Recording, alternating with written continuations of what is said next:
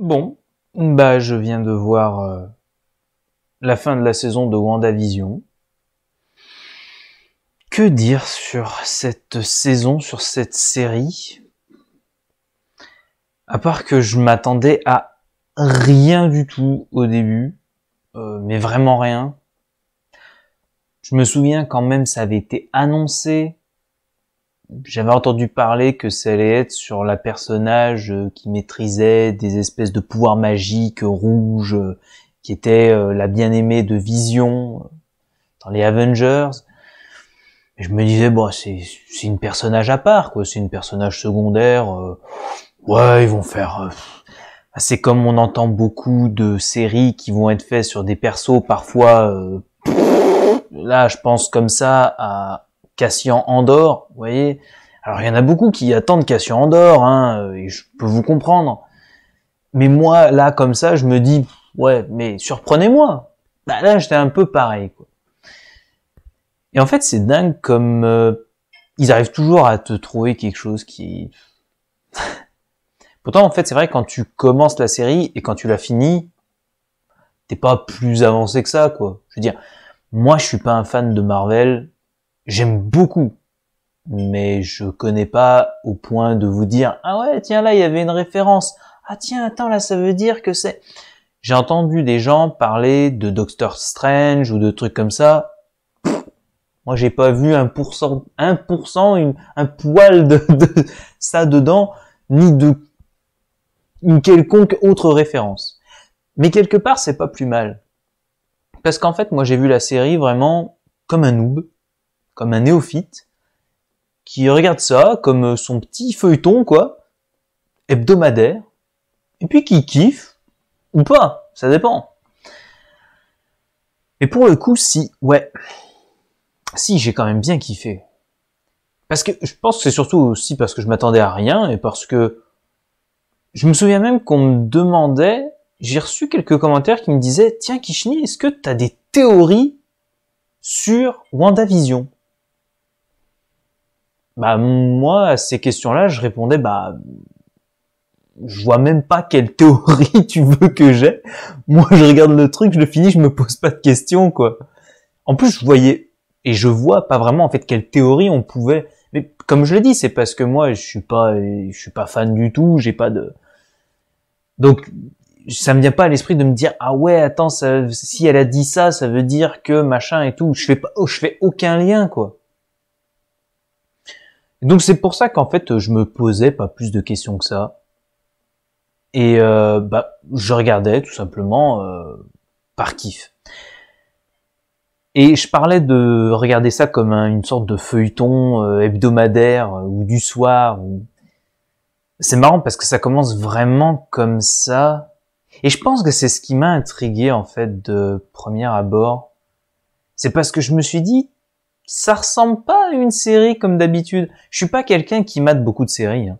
Je vais vous dire, moi, franchement, entre The Walking Dead, Breaking Bad, et puis des séries Star Wars, Friends, peut-être, je crois que j'ai pas vu d'autres séries dans ma vie.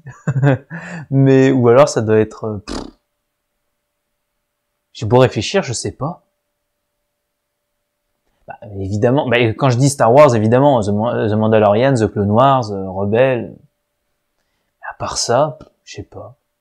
Donc vraiment, WandaVision, bah, c'est peut-être l'une des, une des peut-être premières d'une longue série, parce que franchement, on peut dire ce qu'on veut. Après, Disney ne chapeaute tout, mais laissez-moi parler naïvement. On peut dire ce qu'on veut même si Disney Plus c'est un petit peu le concurrent de Disney Plus, blague à part, ils font quand même bien les choses. Ah, y a pas à dire quand même. Ils font bien les choses. Et puis ils arrivent à t'instaurer une sorte de hum, quotidien ou plutôt euh, quelque chose qui revient de manière hebdomadaire et quelque chose ton petit ton petit bonbon que tu attends. Ils ont commencé avec euh, The Mandalorian, mais je trouve que c'est des pros pour faire ça. Genre par exemple, ils te rendaient les fêtes de fin d'année encore plus belles avec les, les films Star Wars. bah là, en fait, euh, ils arrivent à trouver des créneaux comme ça. Hop, tous les vendredis, vas-y, tu vas avoir un, petit épisode de ta série et tout. Et puis, bah, il faut que la série soit de qualité, évidemment. Et on peut remettre en question les qualités de The Mandalorian, on peut remettre en question les qualités de WandaVision, mais malgré tout, quand même. Moi, je suis content, en fait, de du level que ça prend un peu. Et euh, j'ai envie de dire que pour moi, maintenant on n'est plus dans des séries, on n'est plus dans des films, on est dans un entre-deux. Parce que j'ai l'impression que ça a changé. On appelle ça des séries, mais et puis en plus avec la crise sanitaire actuelle qui fait que les films bientôt, on sait pas si euh, on en verra d'autres au ciné. Bon, je sais, je vais un peu loin là. Hein. Je sais que non, mais je sais que non, que si, on en verra d'autres, mais pour combien de temps et pour euh, voilà, peut-être que le visage du cinéma va changer, mais qu'il est en train de changer ou qu'il a déjà changé. Vous voyez? Et que ce qu'on a avec Disney c'est notre futur, notre présent. Je dis Disney mais Netflix, etc. Mais je parle de ce que j'ai vu, je parle de ce que je vois. Et moi, ce que je vois, c'est que je vois des entre-deux entre des films et des séries. Ce qui me fait dire ça, c'est que vous prenez n'importe quelle série ou même grosse série qui aurait pu faire penser à, des films. Alors, je vais citer des trucs comme ça, mais que j'ai jamais vraiment regardé. Hein. On va dire, allez, X-Files, Prison Break, Lost. Je cite des vieux trucs, hein. mais c'est fait exprès. Vous me confirmerez, peut-être que je suis totalement dans le faux, hein, mais vous me confirmerez, je pense que ce sont des séries où c'est pas qu'il se passe pas grand chose, mais il n'y a pas forcément beaucoup, beaucoup de moyens. Et non, je n'utiliserai pas le mot filler, mais des séries où tout simplement bah, l'action est plutôt posée et puis bah, t'attends quand même qu'il se passe des choses et puis bah, il y a qu'à voir le nombre d'épisodes tout simplement. Je suppose que dans les séries que j'ai citées, il y a au moins 2, 3, 4 saisons, et par saison, tu as au moins plus d'une dizaine d'épisodes. Je dis peut-être des conneries, hein, mais je dois pas être trop loin de la vérité. Alors que là, avec The Mandalorian, avec WandaVision, euh, alors je sais, il y en a un c'est euh, euh, Lucasfilm, il y en a un c'est euh, c'est Marvel, mais c'est chapeauté par par Disney. Alors jusqu'à quel point Disney à la limite, je ne sais pas. Parce que j'ai l'impression c'est que c'est quand même un un écosystème commun, malgré tout, que ce soit la direction, que ce soit les décisions, que ce soit la réalisation de manière générale. Le but derrière semble le même et suivre la vision de Disney, semblablement. Et de ce que j'en vois, c'est que regardez, on n'a qu'une saison, par exemple, de, de WandaVision, et euh, bah, ça se suffit à lui-même et pour moi, c'est comme un... Alors, c'est là où la vision peut changer, mais au final, ça revient au même. C'est comme une suite de petits films ou comme un gros film découpé. C'est la même chose, hein. pareil. Mais c'est une chose que tu pouvais dire avant pour les anciennes séries, mais c'était vraiment ultra découpé. C'était limite en fait, tu voyais tout le lore, tu voyais tout le lore, je sais pas comment prononcer ce mot, le lore quoi. Et mais euh, regardez, regardez, même The Walking Dead, voilà, The Walking Dead, c'est un parfait exemple. Même, même Breaking Bad en fait, sont des séries voilà qui vont s'étaler. Tu, tu peux pas dire que c'est un gros film découpé. Alors il est vraiment charcuté, c'est vraiment un film de je sais pas combien d'heures. Alors que là, si tu composes The Mandalorian par exemple, 8 épisodes de 30-40 minutes, ça te fait quoi ça? Comme ça, 8, 16, 24, 32, un gros film de 5 heures? J'en sais rien, je calcule de tête, j'en sais rien. Mais, et tu le découpes comme ça en 30-40 minutes. Ben c'est ça, et cette formule-là, je, je suis pas en train de dire que ça va remplacer les films ou que ça va. Non, je pense que c'est c'est un ajout tout simplement. Mais j'arrête pas de me demander, de me dire que les gros films, je sais pas pourquoi, mais j'ai l'impression que ça va disparaître. Non pas parce que c'est pas bien, mais parce que c'est cher et c'est risqué. Une série, j'ai l'impression que les gens le voient d'une autre manière. Et même quand tu le réalises, tu peux t'autoriser à pas forcément mettre des trop gros moyens. Et tu peux plus ou moins te rattraper d'une semaine à l'autre, même si je pense, j'ai quand même conscience que normalement tout est tourné dès le moment où ils diffusent le premier épisode. On est d'accord. Mais je sais pas, j'ai l'impression qu'ils ont trouvé une formule qui leur convient. Et euh, ouais, je, je sais pas, j'ai l'impression que c'est autant pour eux que dans l'inconscient des gens, c'est une nouvelle formule qui marche super bien. Et mais mais c'est c'est justement parce que je pense que les séries de base marchaient très bien. Parce que c'est ça en fait, c'est un appât les séries, c'est un truc, c'est t'es happé dans une histoire et que ce soit des séries euh, pour tout âge. Hein, euh, tu regardes ça sur euh, Disney Channel, c'est je veux dire que ce soit pour petit ou pour grand, c'est tout des trucs qui durent. moi, je sais que euh, j'ai pu tomber sur des trucs comme euh, ah comment ça s'appelle euh, euh, bon je sais plus. Je sais plus comment ça s'appelle. Mais c'est des trucs parfois bon gnangnan mais t'as envie de savoir. T'as envie de savoir ah tiens est-ce que ces deux-là vont sortir ensemble à la fin de la série? Et tu vas attendre pour je sais pas combien de temps tu, tu regardes Pokémon c'est pareil le truc il a 300 épisodes j'en sais rien je dis n'importe quoi mais alors que là, en fait, on est, on est vraiment beaucoup plus proche d'un film, quoi. Et, euh, et le fait que les séries, ça s'appelle toujours une série, mais pour moi, faudrait limite, enfin, faudrait pas créer une autre section, mais ou un autre nom, mais c'est, on est dans l'entre-deux et ça a profité en fait, ce, ce nouveau format, il, il, a, il a profité de le l'effervescence des séries et à quel point ça, ça, plaisait aux gens. Bref. Et donc on en arrive là et on a ça et on a on a WandaVision, on a on a The Mandalorian et euh, et moi comment je vois ça d'un côté j'aime bien parce que t'es chez toi, t'es chill, en plus tu regardes ça, c'est une plateforme. Je me souviens qu'encore il y a genre euh, deux ans, j'étais pas trop euh, plateforme, Netflix, tout ça, je me disais. Mais en fait, maintenant, c'est tellement ancré dans notre société, tout est quelque chose, tout est abonnement, en fait. Mais tu te rends compte à quel point, maintenant qu'on a des bonnes connexions, maintenant que c'est maîtrisé aussi de la part de ceux qui proposent ces plateformes, tu te rends compte à quel point c'est vachement bien.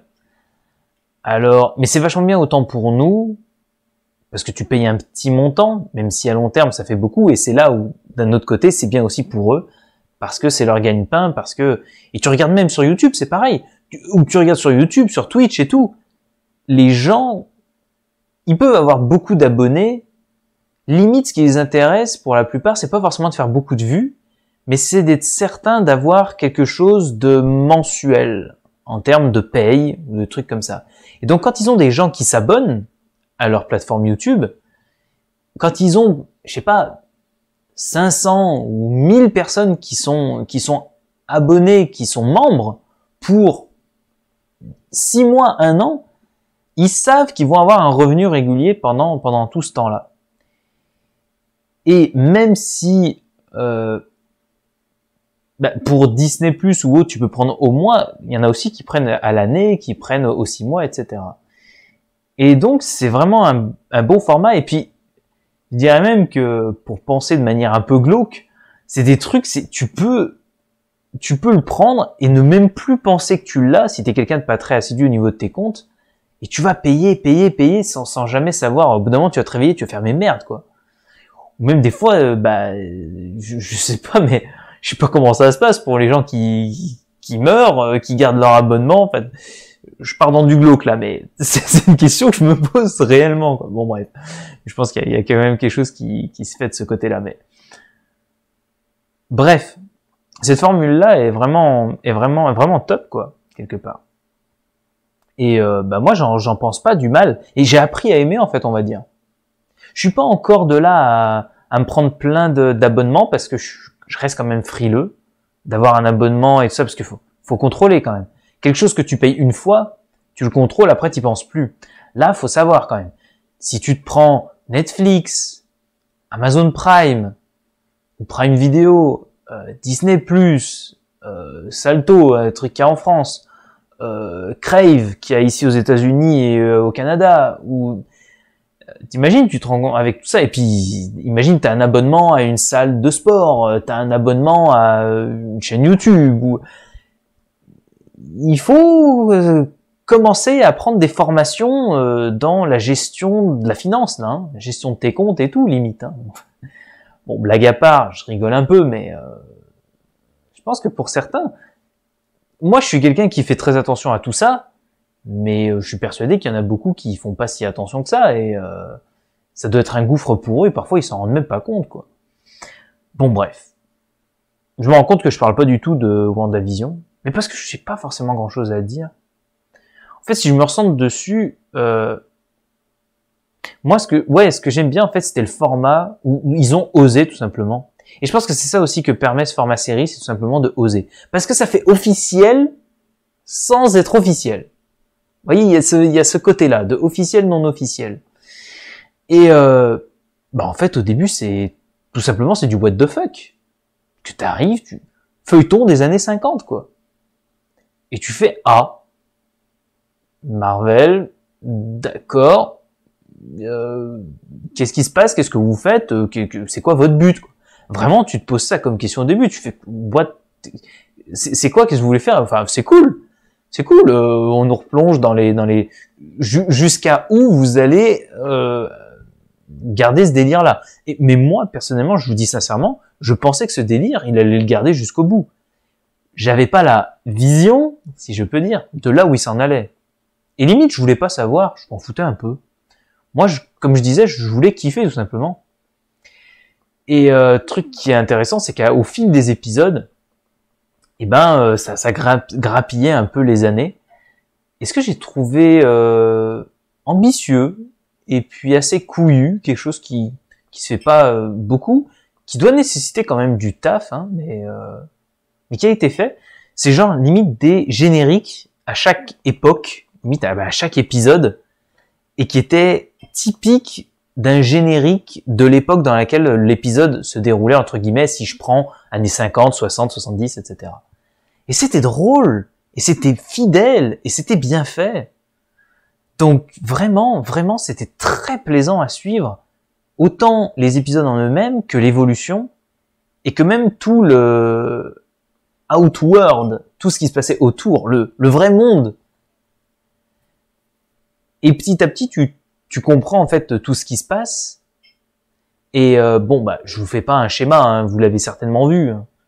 mais euh, bah, Wanda s'est créé euh, une une vie, tout simplement, pour retrouver cette vie qu'elle a perdue parce qu'elle est désespérée, tout simplement, avec la mort de Vision.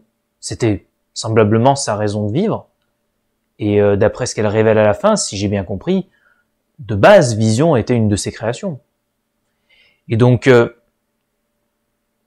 donc, le fait qu'elle l'ait perdu et qu'elle ait voulu le retrouver de cette manière, quand tu prends du recul, c'est du what the fuck en fait de des gens qui ont pensé ça. C'est et puis c'est incroyable comment tu peux lier un truc un peu un feuilleton des années 50 avec une histoire comme ça. Enfin, je me répéterai jamais assez, mais je suis sans cesse impressionné par ce qui peut être inventé. Quoi, c'est c'est assez incroyable. Je suis, je suis admiratif de ça, vraiment. Et euh, pendant les quelques dernières secondes, je me disais, euh, en fait, euh, j'ai l'impression qu'en fait, ça va être tout un rêve, parce qu'après, tu la revois sur les fondations de l'espèce de maison, comme on l'a vu à un moment vers le milieu ou trois quarts de la série, comme ça. Tu disais sur le coup, en fait, elle a tout imaginé ça. mais non, non, parce qu'il y a quand même les conséquences. Après, il y a tous les gens, toutes les, voilà. Euh, elle en est ressortie grandie, euh, overpower, et puis super classe dans son accoutrement là. Je sais pas ce que ça représente, mais euh, Est-ce que c'est un costume, une sorte de costume qui existait dans les comics d'époque? Est-ce que son personnage existait d'époque? Je suppose que oui. Et euh, j'ai beaucoup aimé aussi le dernier dialogue qui disait que bah au début j'étais une de tes créations, ensuite je suis devenu un souvenir. Qu'est-ce que je serai ensuite? C'est intéressant. Ça donne envie vraiment de, tu t'attaches à eux et t'as envie de voir, euh, t'aurais envie de voir une suite, tout en étant euh, satisfait de ce que t'as vu, en tout cas moi. Et je, je veux pas forcément de suite. Ça entretient le mythe, ça entretient le. Mais je suppose que quand même ils vont donner euh, un futur à ce personnage et puis même ils ont des phases Marvel, donc euh, leur personnage évolue continuellement. Bon, je m'étale pas trop là-dessus. J'aimerais finir sur un truc. Je sais que j'ai pas trop parlé vraiment de la série, mais je veux pas revenir sur tous les épisodes, c'est bateau. Je préfère juste parler de ce que je pense là, et puis c'est ce que je pense actuellement.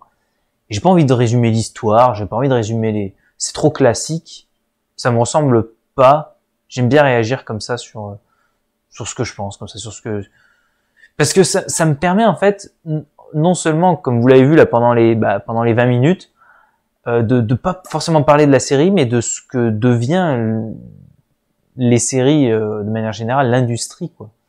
Et c'est, je trouve ça super intéressant.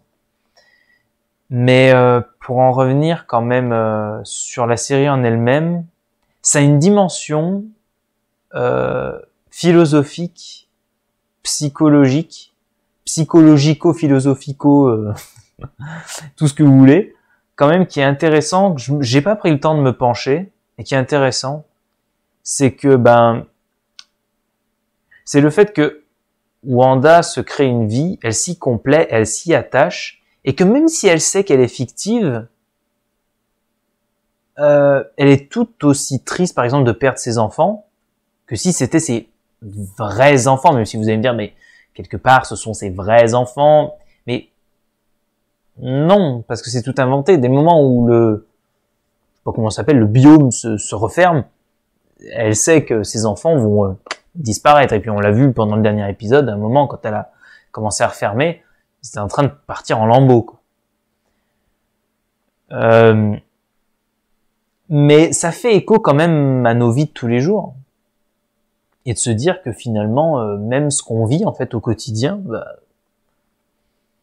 c'est pas plus réel ou pas plus fictif qu'une série. Et que autour de nous, on s'invente un peu nos vies, on se, on se construit nos vies, on ajoute des éléments de nos vies qui constituent notre vie, mais en fait, euh, on la constitue nous-mêmes et on lui donne du sens parce qu'on veut lui donner du sens avec les composants qu'on lui choisit. Il y en a, et ça, ces composants-là, c'est ceux avec quoi vous, vous êtes fan, c'est ceux à quoi vous êtes attaché. Et chaque vie est différente selon ce à quoi vous êtes attaché. Mais tu enlèves tous ces attachements, tu enlèves toutes ces passions. On a, on est tous simplement des corps qui vivent dans.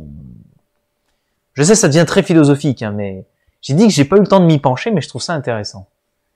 Et que quelque part, en fait, là où je veux en venir, c'est que moi, je m'étonnais pendant la série de me dire, de me rendre compte à quel point Wanda pouvait être autant attachée à ses enfants alors qu'elle savait que c'était fictif.